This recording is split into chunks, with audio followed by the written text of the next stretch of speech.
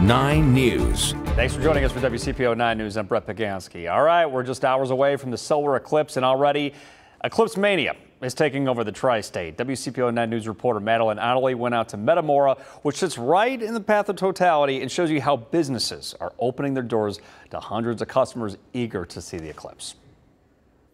Here at Granny's Ice Cream Shop, the number of cookie jars typically outnumbers the number of customers. I mean, how could it not? They've got thousands inside the store. But tomorrow, those tables might turn as the shop prepares for an influx of customers from all over the world. We are in the Guinness Book of Records for world's largest cookie jar collection. Clowns, mice, and taxi cabs. Over 3,200 different ones. You name it, Connie Regal's probably got it. I like the M&Ms because they're happy little critters.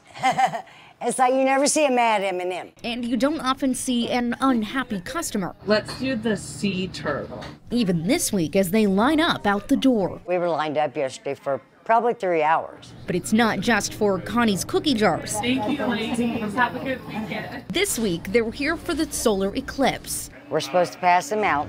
Metamora is in the path of totality, meaning it'll experience a total solar eclipse. I'm skipping Monday. Josiah, Flint, Isaac, and Levi came in from Illinois. I know there's three kinds of solar eclipse. Others, even farther. We're from a little town called Yateley in England. Martin and Wendy have seen two before. Been really lovely, been, been in less touristy areas, seeing some of the sort of real America that you don't really see on UK TV. Towns like Metamora have been gearing up for the mania.